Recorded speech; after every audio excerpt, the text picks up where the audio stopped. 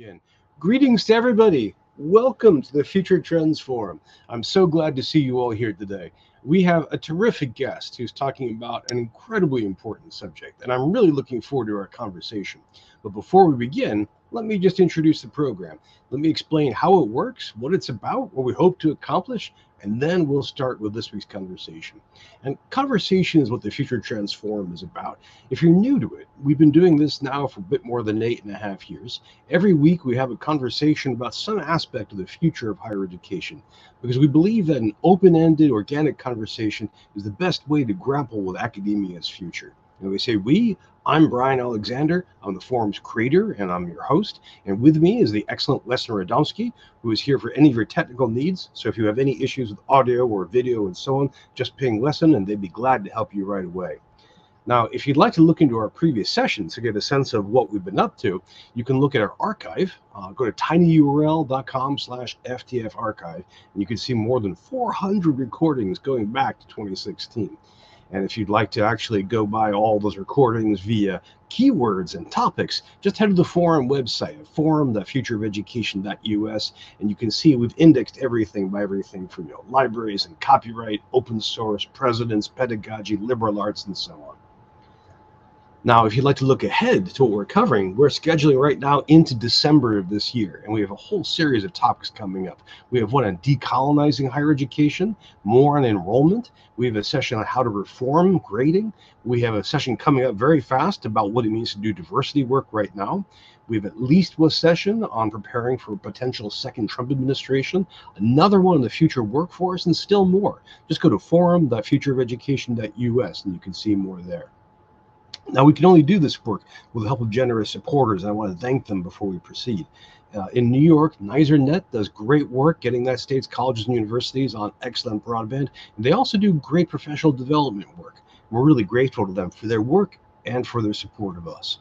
We're also grateful to Shindig because, as you can see, Shindig makes available the technology we're using now. So if you're new to it, or if you've been using other tools for a while, let me just explain how this works. The key thing here is the screen is split into two parts. The top part, where I am right now, where this slide is, is called the stage. And we call it that because everybody can see and hear everything that goes on stage. This is where our guest is going to be in just a minute, and this is where you can be too. Now, the second half of the screen is where everybody is. And you can just mouse over all those icons and get a little bit more information about someone. And in fact, if you want to have a private chat with someone, just double click on their icon. And if they're ready and willing to talk to you, your two icons will snap together and you can have your own private conversation. Think of it that you're kind of in an auditorium and I'm up here on stage with these slides, and that private chat is you leaning over to whisper into somebody's ear. Now, Unlike a auditorium, how do you participate in the overall conversation? Well, there are a few ways. Look in the very bottom of the screen. There's a white strip running along with a few different buttons. On one edge, you'll see a number. Right now, it's 32. If you press that number, up pop a couple of boxes. One of them is a chat box. This is your typical chat box, which is usually very active during this conversation. People are throwing around all kinds of questions, ideas, footnotes, jokes, job offers, all kinds of stuff. And in fact, if you haven't done so yet, just quickly pop in and say who you are and where you're from. I'll put I'll do that myself. I'm Bryan coming to you from Manassas, Virginia. And I'll keep an eye on the chat box as we go. Now, if you'd also like to uh, position a question for us to consider, just go back to that white strip, find the question mark button. That's a Q&A box. Type in your question. When the time is right, I'll flash it on the screen for everyone to read, and I'll read it out loud so we can all hear it. Now, if your camera is on and your microphone is on, and if you have a beard, no, the beard is optional. Just press the raised hand button. And when the time is right, I'll bring you up on stage so you can be face to face with our guest. So those are the main ways to participate, and we're really grateful to Shindig for making all these ways available. I would also like to thank our supporters on Patreon. And let me just make this bigger here. Uh, Patreon is a place for crowdfunding uh, some kind of ongoing project. In this case, it's our project of grappling with the future of higher education. People on Patreon contribute as little as a dollar a month to make sure that we pay all our bills and keep the lights on. And these folks here contribute $10 or more a month. People like John Hollenbeck and Laura Armour, uh, Jeannie Kim Han, Matthew Trainham, Kristen Eshleman, Seth Goodman, Fritz Vandover. We're really grateful to them for their support and you can join them. Just go to patreon.com slash Bryan Alexander. Okay, now all of that's an introduction. Now I'd like to bring up this week's guest and this week's topic. Now, ever since the forum has begun, we've been exploring in different ways how higher education prepares students for jobs. We've talked about the balance between job preparation and liberal education. We've talked about different impacts of the macroeconomic world. We've talked about different programs, and we're going to keep on doing this. But today's angle is really special and I think very, very rewarding. Uh, ben Wildavsky just published a book from Princeton University Press, The Career Arts. You should see a button on your screen, the bottom left, which will lead you to that. It's a very short, portable, very accessible book where he does two things at the same time. He wants to give students of all ages the, a guidebook on how best to get the most out of your college or university career in order to get the best employment that follows. But it's also, I think, a guide to higher education, to everybody in this world on how best to prepare students for a life of work. Now, how does this work? What are the lessons? What can we practically do? Let me bring up Ben Wildavsky just to answer them as the expert for the day.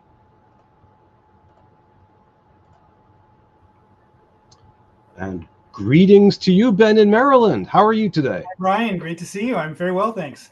Oh, good, good. I, I haven't seen you since London. I just love saying that. It's true. We're such jet setters. I know, I know. That's that's the way things are.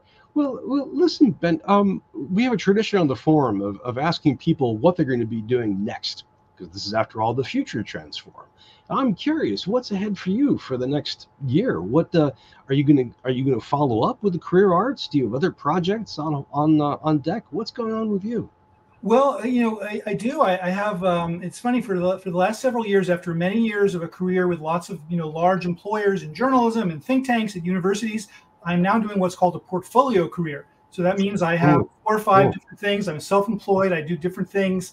Um, and my, my biggest project is a new book, which is actually going to be really a, a very directly a follow up to this book, which the working title is The Global Career Arts. We may come up with Ooh. something different, but it's really looking at Ooh. what's happening around the world in uh, doing a series of case studies in different countries about what are some of the interesting education to employment uh, reforms and initiatives that are going on and how are they going and what could we learn from them here in the states you know where we have a reputation for being a little bit parochial the idea being not that everyone else is great and we're terrible. You know, we have a lot a lot of good good work going on here in higher ed, but I do think that as we try and plot a roadmap for the future here, we would be wise to try and look at what we can learn from some other places. So that's my main project, and then I'll be uh, starting next month. I'll be uh, a, uh, a, visiting fellow at the Harvard Graduate School of Education. So Yay. fun, and that'll be a great base for the, the book work. And I hope to do some guest lecturing, so it should be great.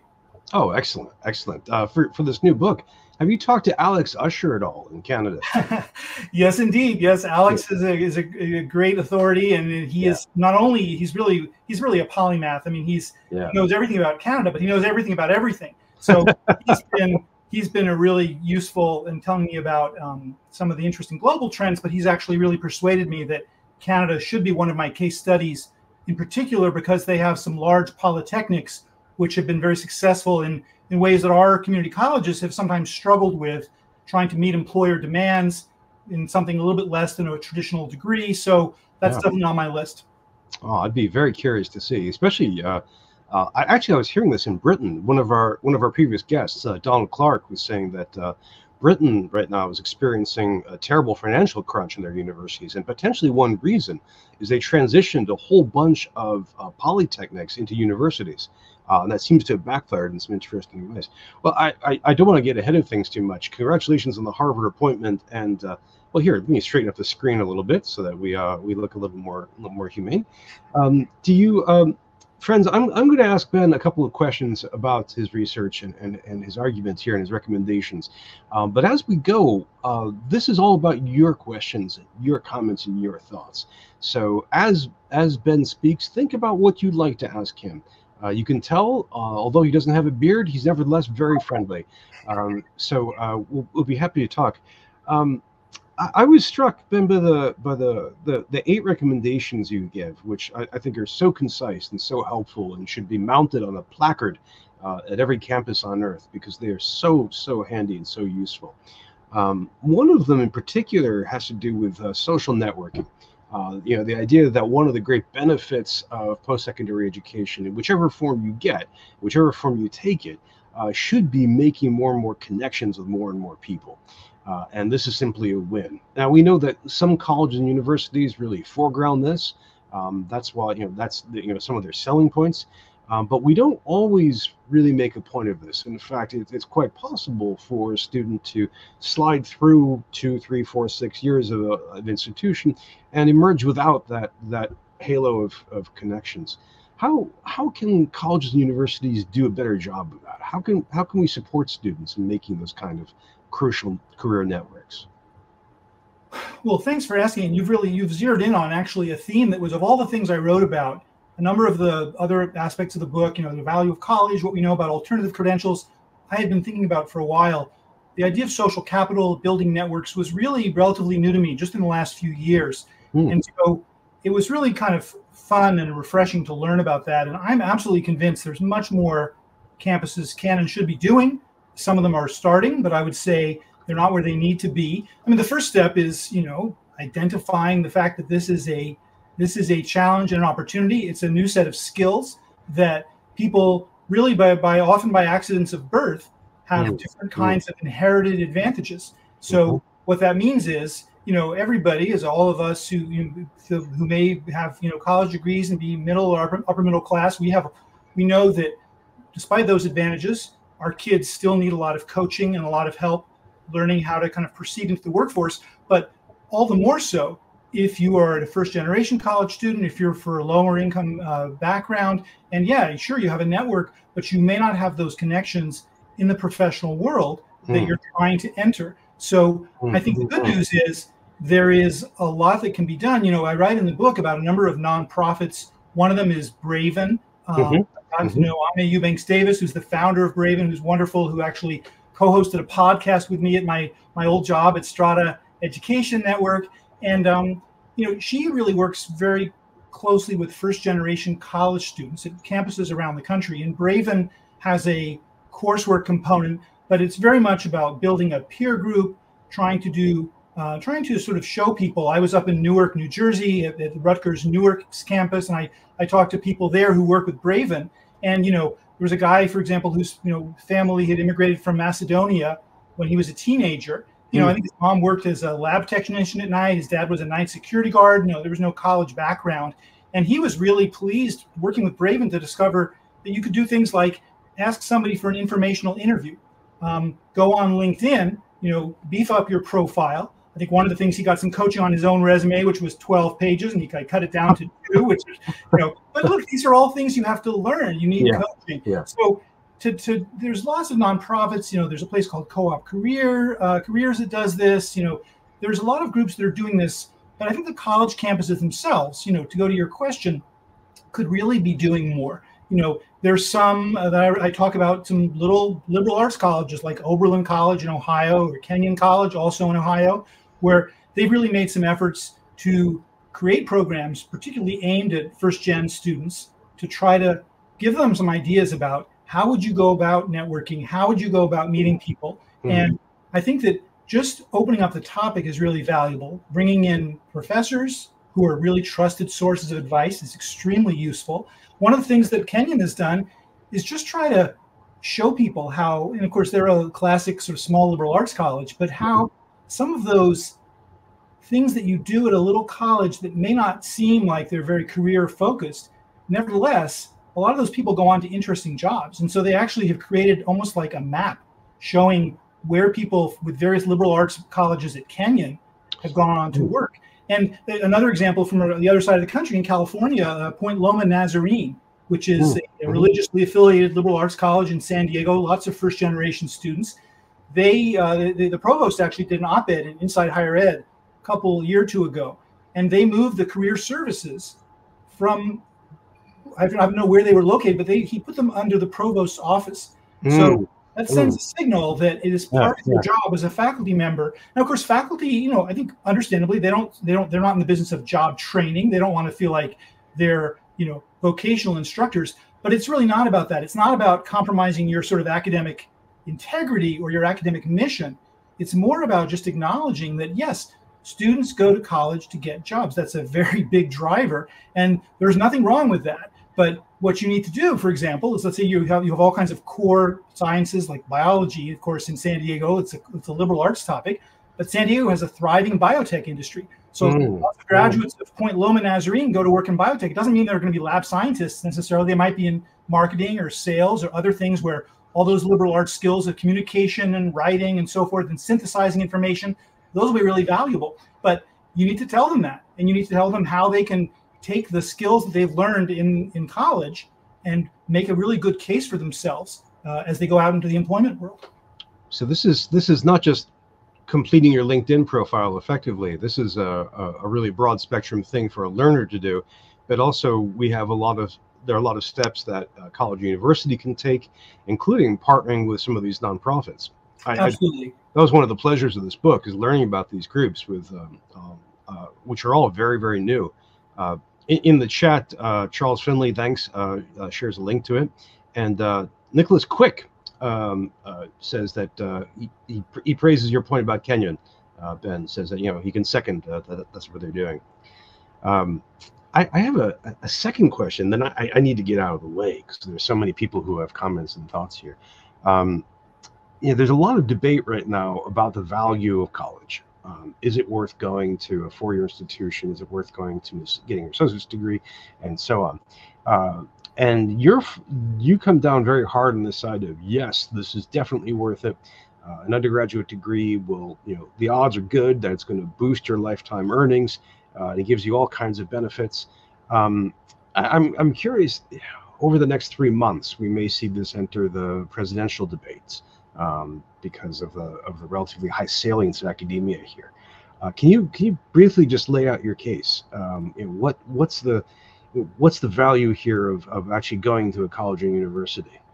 Sure. Well, you know, maybe we'll come back to the presidential uh, uh, race because the, the, that does have some some relevance to what's happening. You know, there is basically, in my view, there's a big paradox right now nationally. And it's not just about the presidential race; it's been true for a number of years there's huge worry the, among the general public about college value. Um, we see this just recently in a Gallup poll that for the second year running found about a 36% rate of support for higher ed or belief in its value, which is down from 54% yeah. just five or six years ago. There's yeah. a lot of there's a big campaign to hire based on skills, not degrees, and that's not just something people are telling you know survey you know saying in surveys. They're actually there's less there's lower enrollment. But to me, the evidence is really clear that you know degrees continue to have a lot of economic value compared to having just a high school diploma. The so called college wage premium is real. And also, hiring for skills, uh, we may talk about this in more detail, but it's kind of the flavor of the month in terms of something people talk about. But it's much more of a theory than a reality. It just simply is not happening any, to any great extent, despite all the hoopla that people are making about it. So. I just think that, you know, big picture, people worry about the value of degrees, I think because they're worried about building a secure career over the long term in a changing economy. And so I think that to really get at the answers, and to, we have to get beyond a kind of one-dimensional view of, you know, college being the ivory tower and you know other kinds of short-term credentials being practical.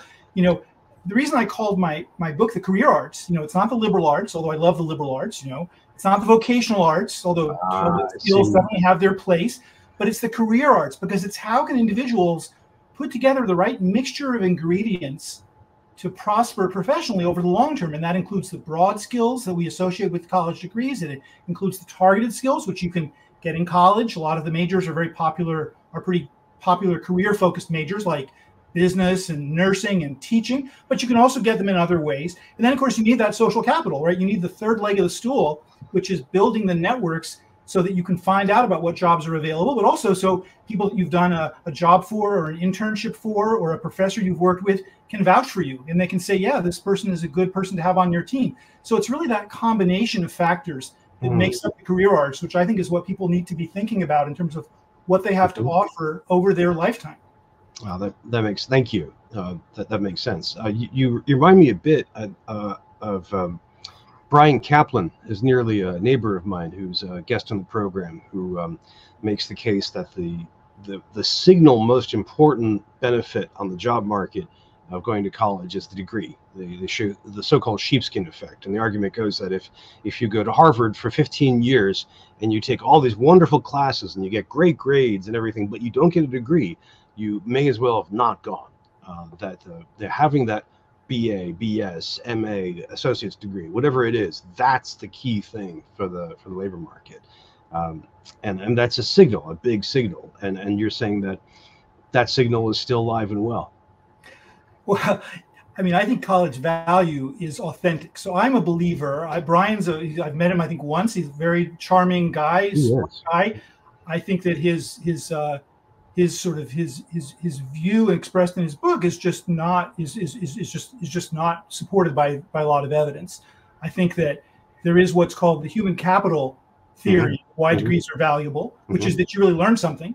Uh, that's what I think is true. I think that's what all of the most influential work. There's a wonderful book by Claudia Goldin, who won the Nobel Prize, mm-hmm. uh, and her husband Larry Katz, called "The Race Between Education and Technology." It's all about how the 20th century was the human capital century because first high school diplomas became very valuable. We had the universal high school movement. Then we started seeing college diplomas get much more valuable. And you know, if it was just about signaling, I certainly I would say most economists would say signaling is a component. And I think Bryan Caplan is right to the extent, you know, it's probably people might, you know, you could argue 20%, 25%, 30% of the value. But the idea that it's primarily about signaling, I think just doesn't hold up because when you got into the 80s and the 90s and the early 2000s, you had way more people getting college degrees. And you might argue that, well, somehow that's going to dilute the value of college degrees as they become more plentiful. But in fact, just the opposite happened. We had way more people going to college, we had way more people completing college, and the degree, the wage premium kept on going up. So the idea that it was just about signaling, I think, is it doesn't make sense. And there's more I could say. I mean, I, I actually did an interview with this guy, Larry Katz, very prominent labor mm-hmm. economist at Harvard, um, who talks about some wonderful. He has a wonderful story about how when the high school movement, um, you know, this goes back to the 1920s, the movement, the push to get more and more Americans going to high school was taking off, and he talked about how in, for example, a number of states that were heavily agricultural states, crop yields got much better as people got more education about the right mixture of chemicals and so forth. And he said to me, you know, I quoted him on this in the book, you know, it's not like the crops suddenly saw those high, those high school diplomas and they were really impressed with the piece of paper. they learned something. They learned something that made them more effective farmers. And the same thing with the, the green revolution in, in places like India. Yeah. There's a lot of reason, and I could I could say more. I'll stop for now, but there's a lot of reason to believe that not that not that the signal is a non-issue, but this idea of it's kind of like a, I think it's kind of frankly a kind of cheap debating point. Like, oh, it's all the signal. Those people would have done great anyway. There's all kinds of pretty good controlled experiments showing similar populations who did or didn't get the education, um, who did better when they got education. Do you think? Uh, well, shoot. So thank you, thank you for that for that great answer. And I think I, would love to have you and Bryan go at it, um, and which would put you in a weird position of being outnumbered by Bryan's, which doesn't happen that often. Um, but um, but friends, let, let me let me get out of the way. The the forum is about your questions and answers. You can tell Ben is a very generous uh, thinker and, and speaker. Uh, and we already have questions that are just coming in. So again, if you're just joining us, uh, there are a few ways you can ask questions. The key way is on the bottom of the screen along that white strip. You'll see a question mark. Uh, so just hit that button and type in your question. I'll display it on the screen like I'm about to do right now. Here's a question from one of our friends in Malta.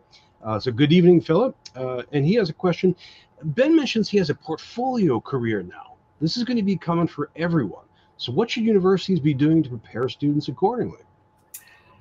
And, I'd love to talk about the uh, uh, British higher education and, and polytechs later on.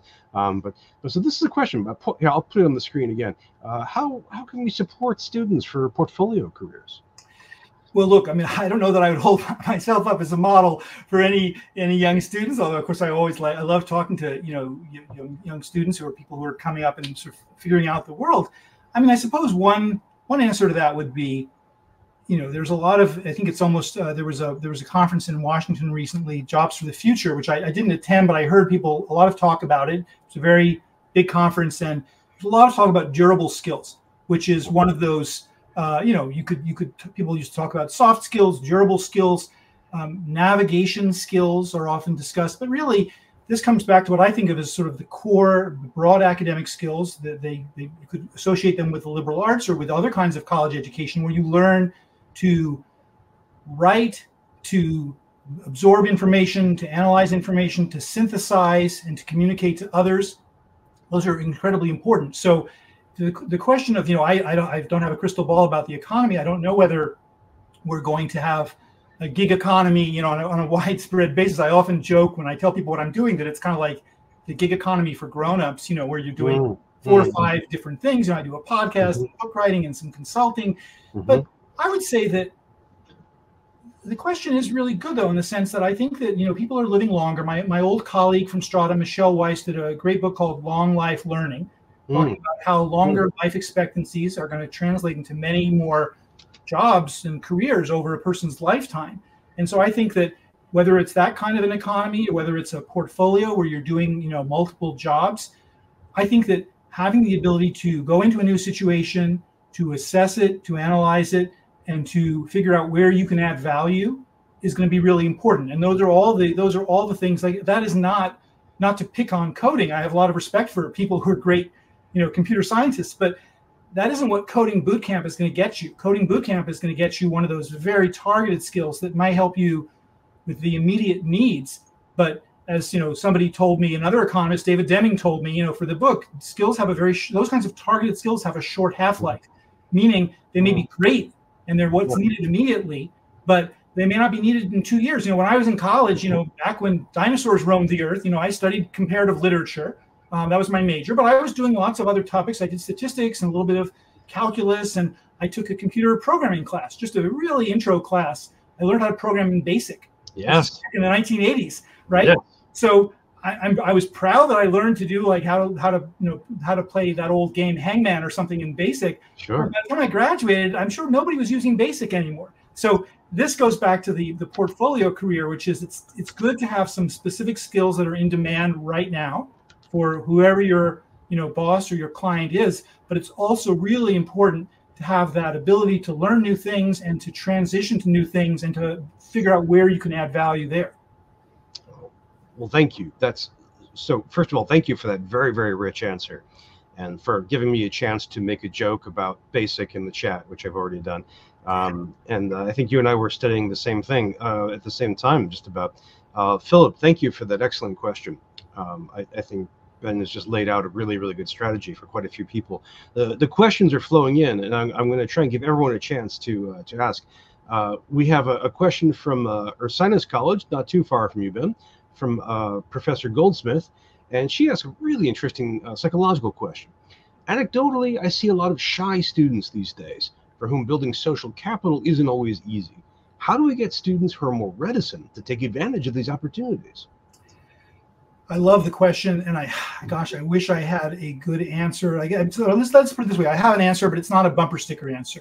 You know, I think that I, it's funny. I, I spoke um, a few months ago at a, a high school in uh, called New Trier uh, High School, which is a very kind of academically intense high school in uh, north of Chicago, and you know, one of the things that you know, actually, I was hearing from the counselors and the teachers was that the students are really looking for like what's the perfect you know combination of activities and grades and classes mm. to get into one of these very selective colleges and one of the things i try to say and this i think will relate to social capital which is it's not like there's a specific box you have to check and like all of a sudden you're a you're a person with a great network and it's all done i think you have to view this as a iterative process you know where maybe it's maybe it's maybe it's going to a networking event or maybe it's learning about how to you know do a good linkedin profiler there's actually a nice piece by the one I mentioned earlier, the founder of Braven, Aimée mm-hmm. Davis, wrote a piece for Harvard Business Review, one of their online publications about how to do a really good LinkedIn profile.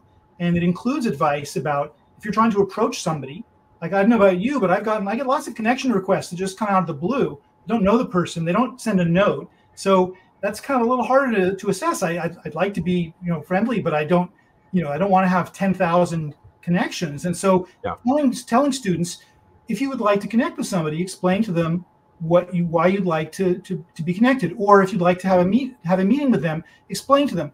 So there's some things you can do to give students those exact tools, even if they're shy.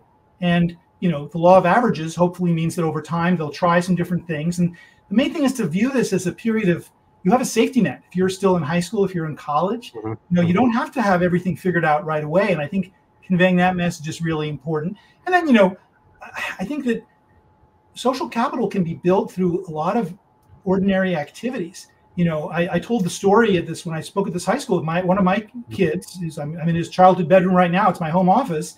He was a big frisbee player in high school. He was an ultimate frisbee player. But the high school, our local public high school, you know, great school, but they didn't pay any attention to the sport. They didn't give it any support. They didn't give it any money. The kids had to organize everything themselves. They had to um, plan the games. They had to figure out who was going to do the transportation, who was going to do the mm. food. Mm. They, they, in this particular sport, there's no referee, so you have to, if you have a dispute over a call, you have to work it out with the other, the other player. It's this kind of old-fashioned sort of ethos. Um, all of that was incredibly good for social capital. It wasn't like he took a class called How to Build Social Capital. He just did something. He did a, a, a sport or a club, and you have to just be aware. It's like a lot of first gen students, they feel like they're applying to college, like, well, they had to work, but yeah. they think of that as an afterthought. But it's like, no, that's a strength.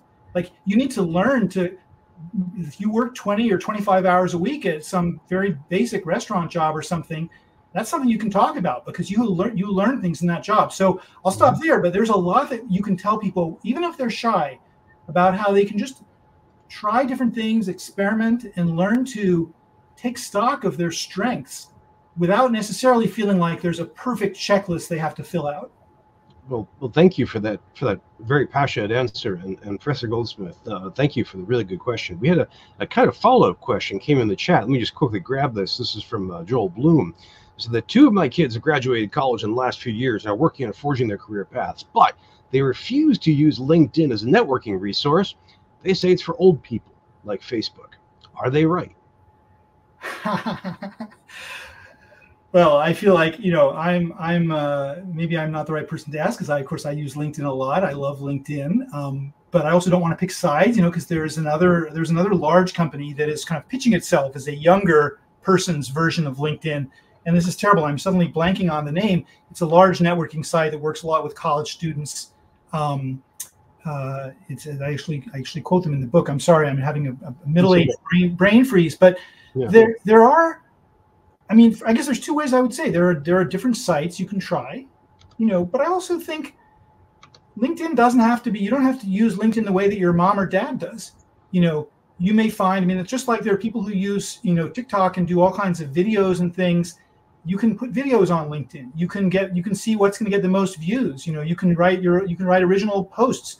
You can analyze you know the latest op-eds that, that, that drew your interest or that you thought were completely wrong you know i think there's you can use it as a it's not quite what twitter used to be as a debate, debating platform but i think that one way to think about it is that you don't have to fit into the linkedin model of a different generation you can create a different by the way handshake is the company i'm sorry it was taking me a second no yeah. some companies called handshake you know founded by some college students in the middle of the country in a very cold snowy part of i think it was upper peninsula michigan. michigan yeah. They wanted to get networked and they didn't feel like they um, they knew the right people and they, they, they feel like the fancy software firms that they were interested in didn't deign to come to their campus so they had to figure out how to build their own network and that's really much more geared very explicitly toward college students for recruiting and so on well, well thank you and joel thank you for the question which I, I, just you probably all see a white hair just bloomed on my on my chin as a result from that. Uh, ben, thank thank you for the answer, um,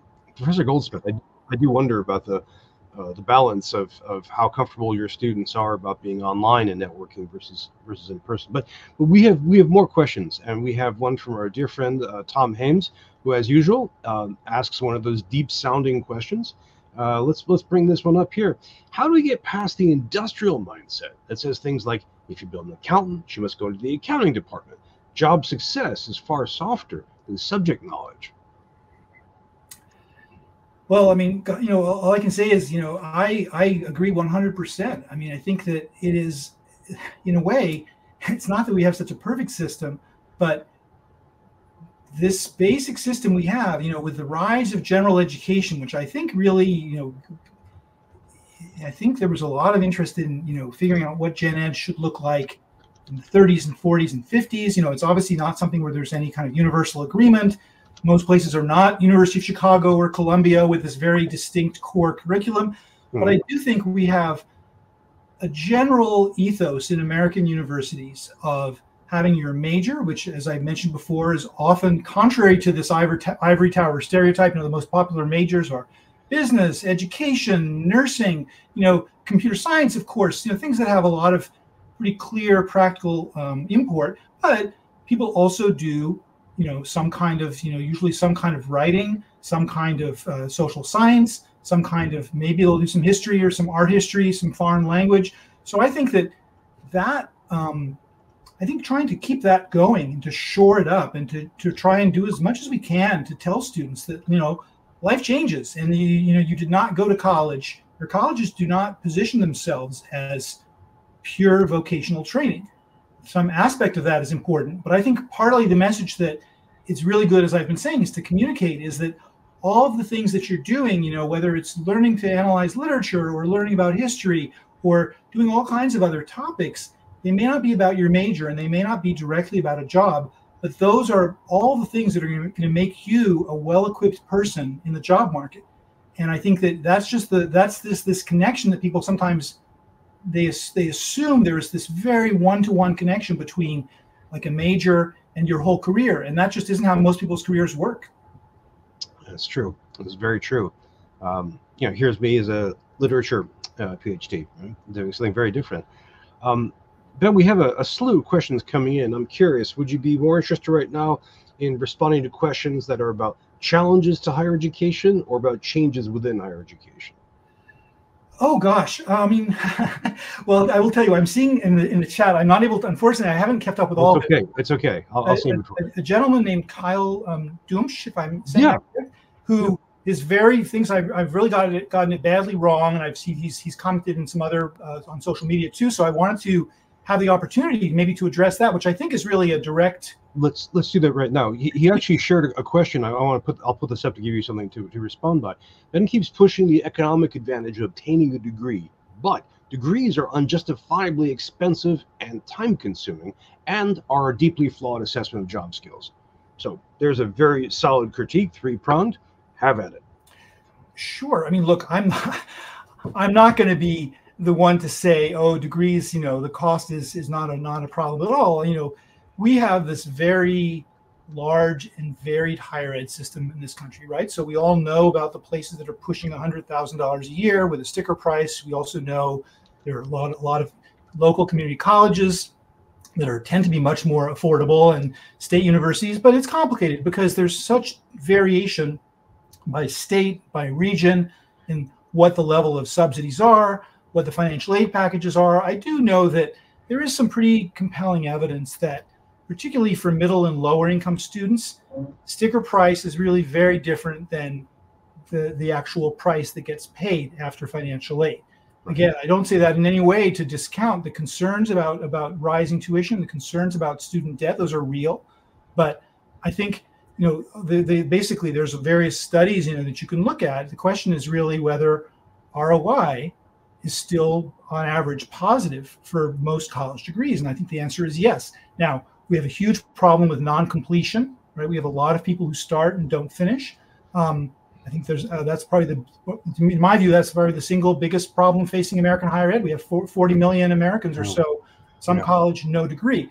Now, that also in a time of declining enrollment, that could be an opportunity for a lot of colleges to do a better job serving adult learners, serving people who want to come back, did not have a good experience in higher ed. So I guess I would say to go back to the, the question, you know, yes, there's no question that there's also been a change in sort of expectations over historically. The idea of college is more of a public good to college is something which has this demonstrated financial return. Therefore, maybe it's a kind of a combination of a public good and a private good where it is reasonable to spend something on college or to borrow some money on college. And then, then the questions become what, you know, how much is too much?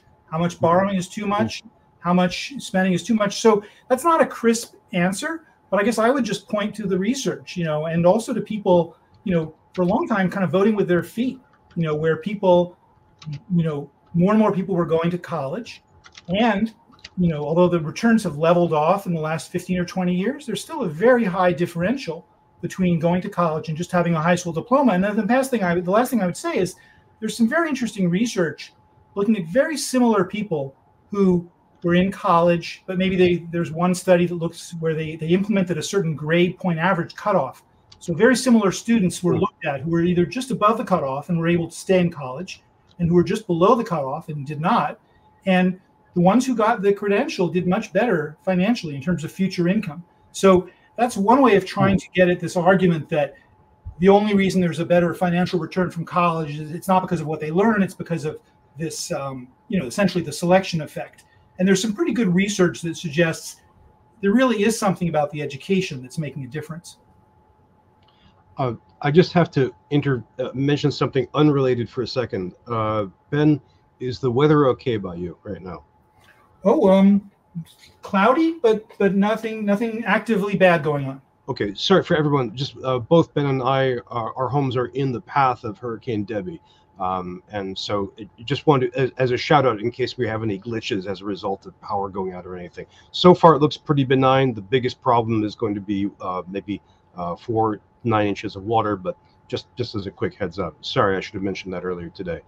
Um, Ben, to back to your to your to your thoughtful, uh, detailed answer to uh, Gil's thoughtful, detailed question. Um, we do have a. I mean, you, you, point out the majority of degrees generate return, um, but that is not 100% uh, of the degree experience. And and I'm curious, what can uh, what do we do that in higher education we have certain institutions which are especially good at producing students who don't get a return um, you know, what do we do about the pathways through generally good institutions where students emerge and do not make back their debt and are stuck with debt for life? Um, we don't have uh, federal oversight on this. I mean, the, the, most we have is the college scorecard from the Obama administration. Uh, state governments uh, aren't really active in this. Um, and most accrediting agencies, this is not a large priority. Uh, and for professional associations within higher education, this is not usually on the radar at all. Um, what what can we do within the whole higher education ecosystem? What can we do to try to reduce those bad pathways and honestly bad programs and some bad institutions? Boy, I wish I had a magic wand. You know, there isn't a there isn't a sort of quick. You know, I don't have a master plan for how we could fix everything all at once. You know, I think that I think there are certain principles that we should bear in mind. You know, the first one is, you know, as I say in my, you know, my, my conclusions, right? I think going to college is generally a really good decision if you complete college. So one of the first things we need to do before we get into, I mean, of course, there's lots of details about differential returns by major and so forth, and that's tricky, you know, because to, to try to answer that part of the question, you know, I'm not going to tell people I don't know that, you know, it depends all it depends on your circumstances, but I don't think telling somebody, oh, you must not study sociology or you must not study art history because those don't mm-hmm. tend to get you know high starting salaries you know i do think that knowledge is power and it's, it's old fashioned idea that we should have that's why the college scorecard well it's it's highly imperfect but i think it's a, it's part of a useful trend towards saying people should should be well informed they should know what the chances are they should know first of all the, all the returns that you know we talk about the 75% wage premium for college graduates is an average there's some that are much higher. There are some that are lower, yeah. and it also is, is contingent on completion, right? There's some there's some other analyses that are done looking at college returns, which come out with much worse returns because they include in the denominator when you're doing the calculation all those who started it and didn't finish.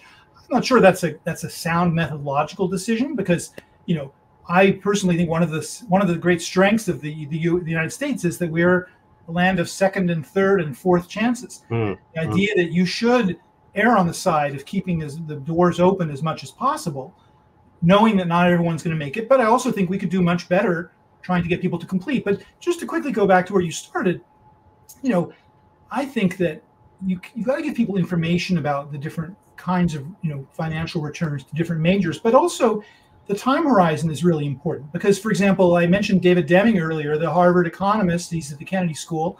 Mm-hmm. Um, mm-hmm. You know, he uh, he wrote a piece in the New York Times maybe six or eight years ago about liberal arts uh, graduates. He'd done some research showing that yes, they start off behind in terms of average wages, but they actually by middle age they're actually doing much. They're they're they're if not completely caught up, they're much closer to the STEM graduates. Yeah, partly has to do with the different skill sets as you get mm-hmm. beyond those entry level jobs. You're getting into management jobs, mm-hmm. leadership roles. Some, of course, liberal arts colleges will grads will go to law school or sometimes medical school. So there's lots of things that can happen over time. So there's just various factors that you have to consider. And it doesn't mean you should be complacent. You know, there are a lot of colleges that don't do uh, as good a job as they should with persistence and with retention. I think there's more awareness of that than there used to be. But and I think you know, frankly, it, it, it may become you know it may become a necessity because of the financial problems colleges are facing and the enrollment problems they're facing. It's really going to be in their self-interest, uh, beyond their pure educational mission, to try and keep people enrolled by making sure that they don't they don't uh, drop out. Now that is an excellent bridge to our next question, and and thank you, thank you for that answer. And and Keel, as always, thank you for your persistent critique. Um, you know, I really value this, and I really value the exchange uh, both of you just had right now. But you you're you're talking about institutions changing, and uh, I want to bring up a really really great question from uh, our friend James Shulman. Uh, you know, in many ways, author, previous guest in the program, founding director of Artstor, and now at the ACLS. And he has a question about one particular key population on campus. Is the tide turning on faculty willingness to help students understand how their class translates into career skills? Or and do you have any good strategies for helping faculty feel good about doing this bridging work? Well, hi James. It's, I'm, glad, I'm so glad you're on you're on today, and uh, I really appreciate the question. You know, I think I mentioned one specific example from the book earlier, which is the Point Loma Nazarene. This idea of putting career services in the provost's office. That's that's just that's just one example of a small liberal arts school.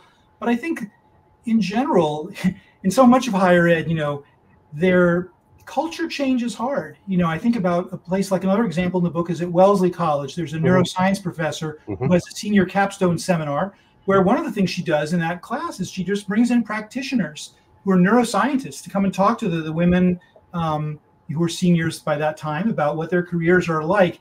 And again, to me, I, it almost feels like intuitively that doesn't feel like that's compromising of the, the liberal arts mission of this kind of venerable women's liberal arts college. It's it's a normal thing for people to be curious about what their studies might lead to.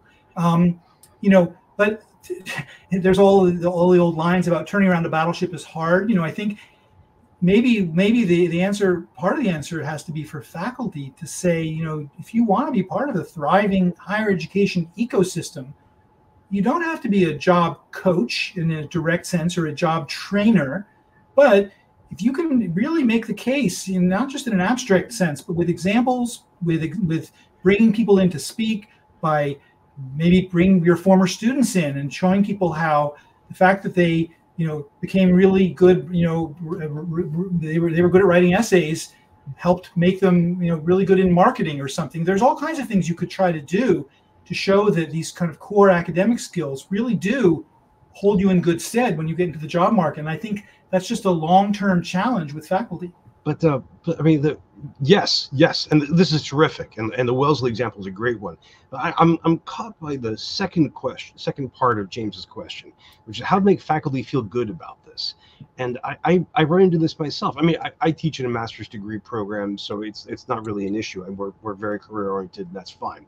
Um, but I, I, do run into this when I when I talk with uh, faculty about about jobs and careers. Inevitably, and usually from the humanities. Someone will say, well, that's not all that higher education is about. I, I know in your book, you quickly set that aside. You say, short book, we're focusing on one thing, we're not going to talk about that. But but how do you how do you keep faculty from stopping other faculty from doing this? How, how, how do you make this acceptable for faculty to do?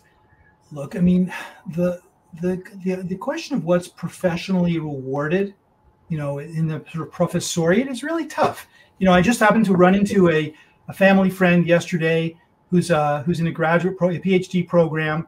Um, I think he's a, he's at a big a big state university in the South, and he loves teaching. Um, but even at a, this this is not a you know it's a good university, but it's not a super elite university. But the fact is the the reward and the incentive structure is really all about writing and publishing and research. And I actually am I'm kind of hoping that'll help that'll be good for him when he ends up you know trying to go for some teaching jobs where he can authentically say that he wants to teach but i don't know that i have a good answer to that i mean i think that if there are faculty who sort of turn their noses up at you know, helping yeah. students in some concrete sense get jobs.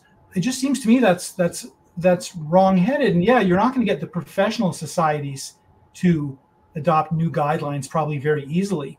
But I think, you know, again, the, the idea that if you believe that building public support is important for the future of higher education, then I think you can there is a way in which you can talk about even things like there's so much interest now in getting better you know better internships and jobs and faculty are such a valued and trusted resource for that that if they can view that as a selling point as one of the things that they provide to their students being translators between the classroom and the sort of the, the, the and the workforce i think that's going to make them just get more public support thank you Thank you. It's a good answer, James. That's a really, really great question, and I'm, I hope we're figuring this out, and I hope I hope the tide has turned for this.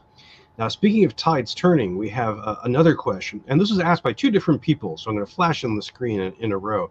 Uh, the first comes up with our good friend Peter Shea up in uh, New England, uh, and he asks uh, quite uh, quite clearly and directly, "How do you see artificial intelligence impacting career education in higher education?" And then immediately, like within seconds, um, uh, from uh, Middlesex Community College, Irina Case asked a version of the same question. So I put her up here as well.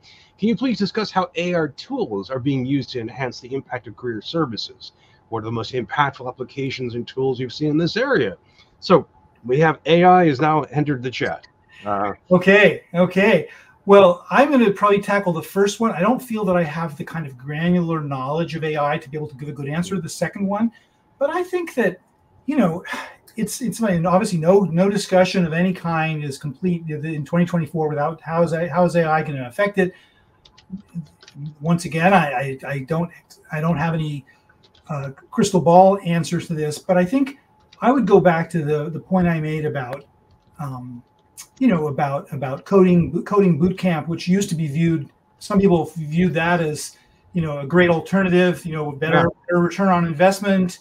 You know you don't have to go through all the sort of fluffy irrelevant classes. You don't, don't have to deal with the campus culture wars and all that stuff. You just learn something that's needed in the economy. Well guess what? You know as i understand it um, gen ai is pretty good at a lot of basic coding tasks um, not necessarily the more the more elegant sophisticated sort of software architecture that you really do need a you know a, human in the loop for that i think that's the expression they use but yeah. there are there if you were convinced that like this very practical hands-on kind of coding experience was going to uh, be your salvation in the economy, that would have been a mistake. And I think that all those traditional broad education skills that we talk about are still going to be needed. I recently I do a podcast, Higher Ed Spotlight, and I recently interviewed Ethan Mollick, who is um, mm-hmm. who is the author of this new best-selling book about about artificial intelligence. He's a professor at the Wharton School at Pennsylvania, I think at, at University of Pennsylvania. It's called um, oh, I have it on my shelf here. Yeah, yeah. Um, it's, well. called, it's called co-intelligence. But so that actually does relate to the question because co-intelligence is he has this really nice image of thinking about large language models, LLMs, Gen AI, as a very, very hardworking sous chef that doesn't know anything. Mm-hmm. And the idea is it'll do whatever you tell it. It won't get tired. It'll work all night, but it needs to have a, a guiding human partner telling it what to do. And so I think part of the part of the argument, you know, for the the kind of education that we've talked about and these kinds of broad skills, those are the things that will equip you to continue to be the the person in charge of the Gen AI and not to have your. I mean, yeah, some jobs may be eliminated. But we'll have different kinds of jobs, but I think your best bet is always going to have be to have that that that broad background, those broad skills, and to be able to you know make the changes and to adapt as you need to in this different kind of era that that sounds like a, a good start uh, a good way of grappling with this and uh, i'm glad that you brought in uh, Mollick on this um, and i'm I, th- I, think this is a this is this is one of the really deep ones right now. I I, uh, I I've seen quite a few AI applications across higher education, uh, but uh, uh, Irina, I haven't seen uh, one particularly aimed at career education, not yet. Um, but I wouldn't be surprised if we see one appear, say, in the next four hours. Um, in the, the, the chat has been on fire. Uh. There's been all kinds of stuff, and uh, friends, do you mind if uh, if I share the chat with uh, with Ben afterwards? Just let me know in the chat if you if you've been active there.